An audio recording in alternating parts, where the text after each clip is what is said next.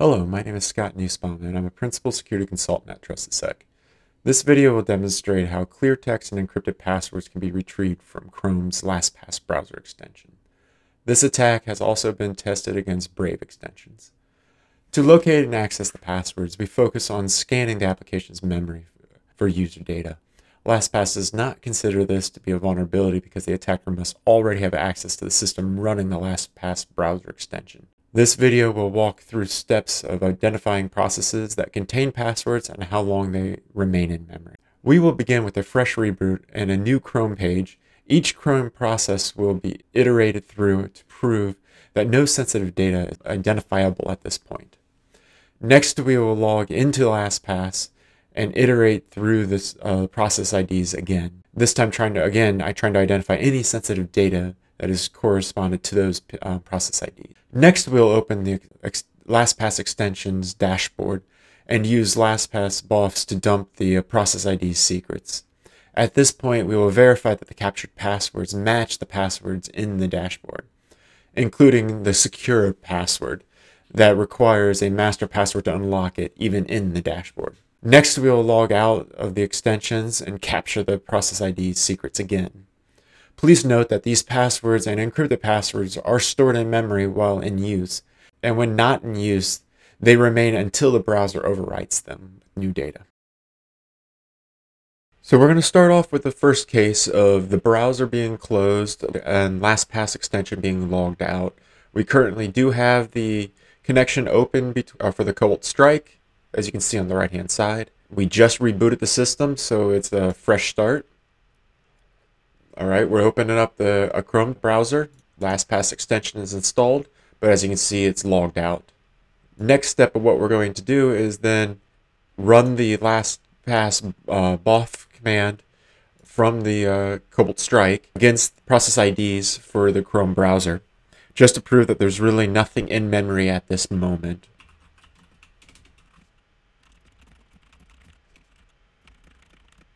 So LastPass will be running. It will take a few uh, seconds to run, depending on the how much memory is used by the Chrome browsers and how many process IDs you give. The runtime of this can vary. Once you find which process ID uh, contains the information for the LastPass, normally you can just run that process ID in the future and it will uh, reduce the time. Okay, the output that we see at the top, we see a bunch of information that comes back. This is the raw data that's being returned by the LastPass BOF. It is then processed on the back end by a Python file that will then try to pull out some of the false positives. And in this case, we see this user config false positive as well as this master password false positive. Um, to go back for further information, this data that's being printed out here is stored at this uh, long path. The next step we're going to do is then actually log into the LastPass browser extension, but we're not going to open the actual vault itself.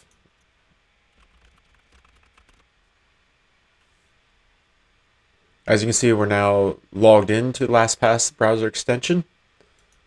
And we're going to run the same command that we just did with the same process IDs. So similar to last time, we can see that we got more information that scrolled across the screen. Um, again, this is uh, written out to this LastPass timestamp. So if you want to go back and actually look at it more depth, some of the things that you'll see across this will be uh, let me scroll to the top and we'll work our way down. Again, at the top, you'll see the raw data that's coming back, um, and then the process data. So the last pass return value will indicate when the process data is being displayed.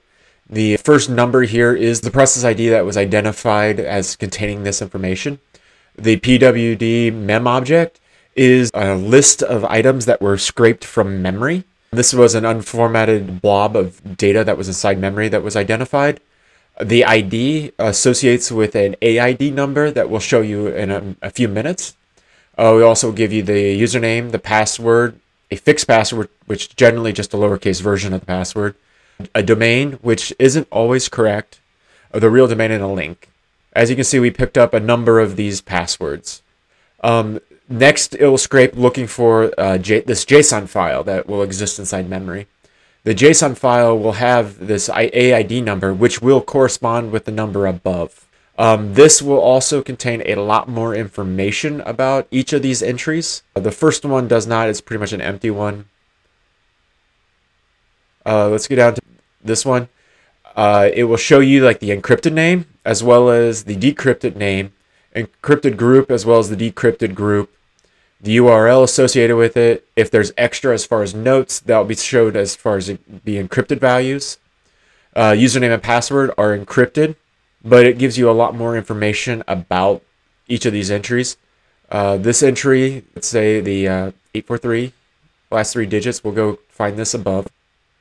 So here we are, 843.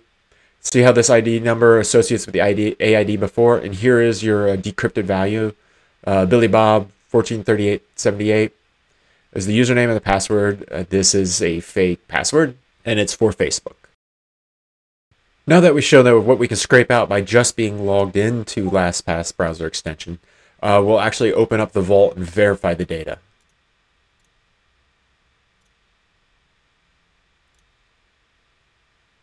So one thing to note that the data that came back, some of the uh, fake bank and the credit card information did not uh, return uh, with the scraper, but other things such as the shared servers and social media did get re returned.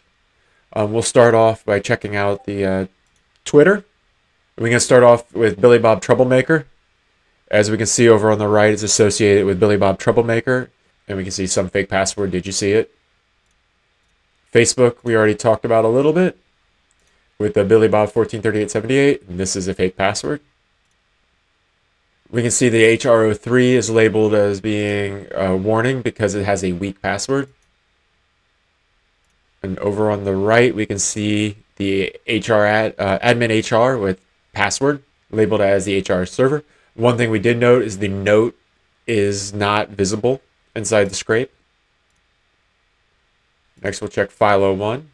So File01 was actually, there's a setting inside LastPass uh, browser extensions that will allow you to require that the master password is inputted again when you want to see certain values.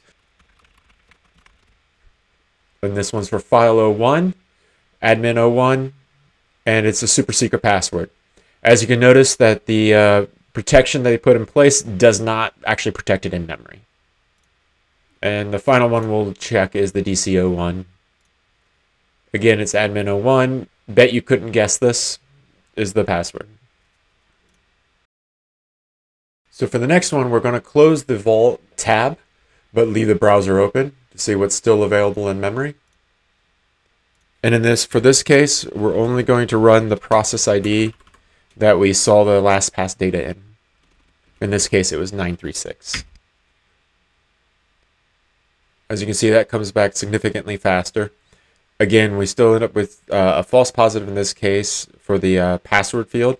The password field occasionally will come back with actual passwords, but they will not be associated with certain usernames. Uh, the private key is used in LastPass itself to decrypt some of the uh, hash values that come back to give you uh, certain other keys that will be used. So then we have the uh, user config. The user config will store a lot of sensitive data about the current user. So we can scroll to the top of the user config. Uh, it will have like push servers, private keys, uh, cached. Uh, some of the more interesting things come down. It will show you like along here different types of out of band or if you have multi-factor enabled and what type of multi-factor is enabled. Uh, we'll give you the usernames, the email addresses that they're currently using. But as you can see, even though the tab has been closed, uh, you, all this information is still available in memory. Next, we're going to demonstrate closing off the current Chrome browser and opening a new one while still having LastPass logged in. Um, again, for this one, we're going to have to put in each of the different process IDs for Chrome because we don't know which one might be holding the information at this point.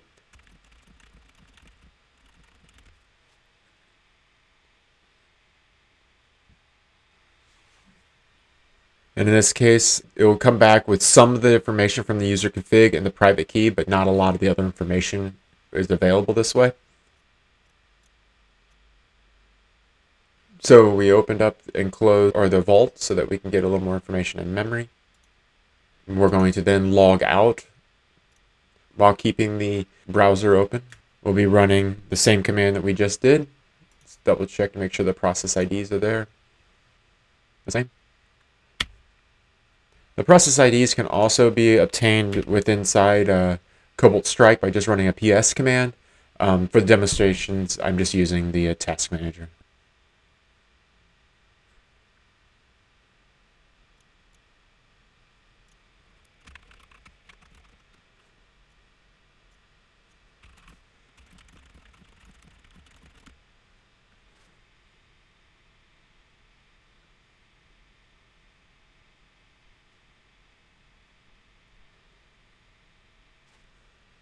So as we can see, this uh, pulled a bunch of information out of the dashboard. Uh, the password at the bottom is showing the encrypted passwords.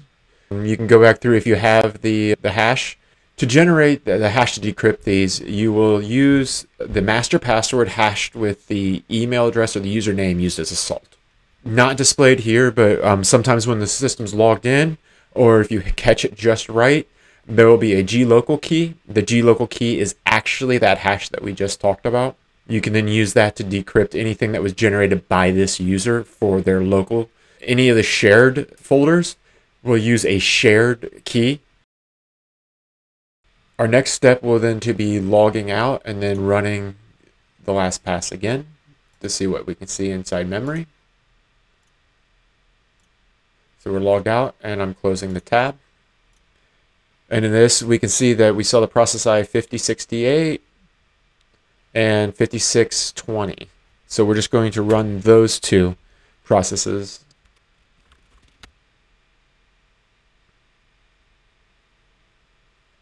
As you can see, the it still dumps out information because it's still available in memory. So we have the, the JSON file, the private keys, as well as the user config, and then we managed to pull out the uh, usernames and passwords from memory. Finally, we're going to do is we're going to log back into LastPass, and then we're going to reboot the system while LastPass is still logged in.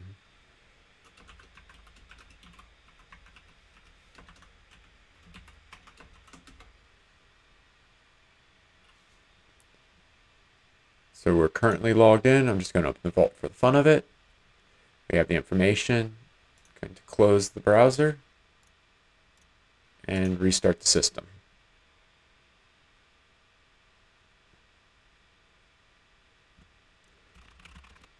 So restarting the system killed our uh, Cobalt Strike connection, so we're going to launch that again. Okay, now that we have the connections back again, and we're going to open Chrome again.